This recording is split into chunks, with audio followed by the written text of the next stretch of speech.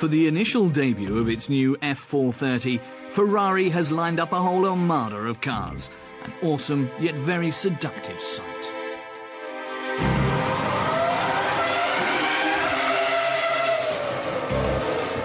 The Formula One champs have now produced a new masterpiece. It's time for us to take it out for a spin.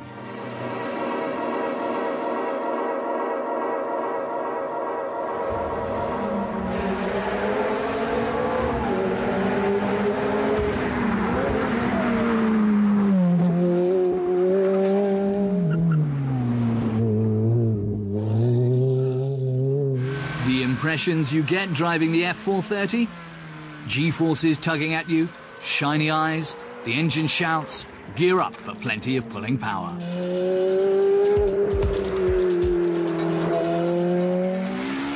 In four seconds, 490 horsepower catapult both man and machine to a speed of 100 and into a completely different dimension. Enzo Ferrari would have adored this experience.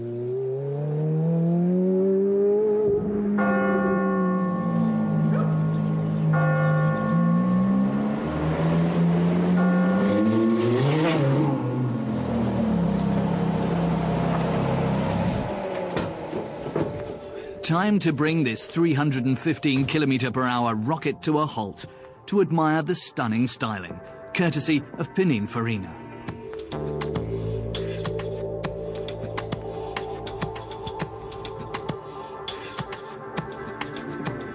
Inside a glass showcase, sheltered from the elements yet so near, the new V8.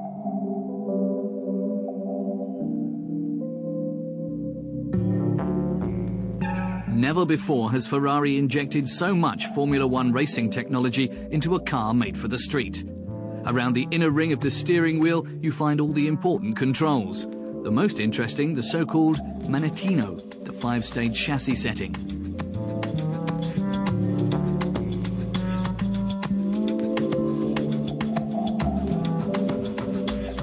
It's great to pass the time just taking in all the beauty of the F430, but it's not long before you get that itch to hop in and drive her.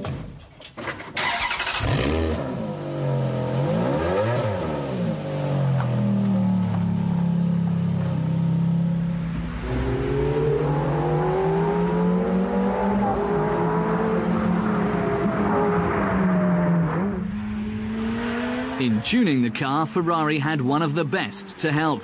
World champion Michael Schumacher personally helped give the F430 its extremely neutral handling.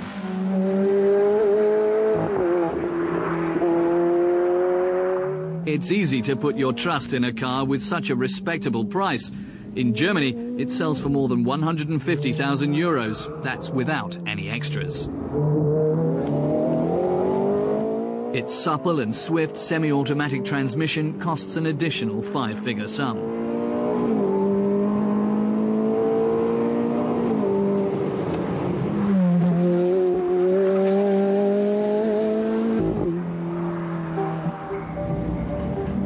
Fiorano, the Ferrari test site.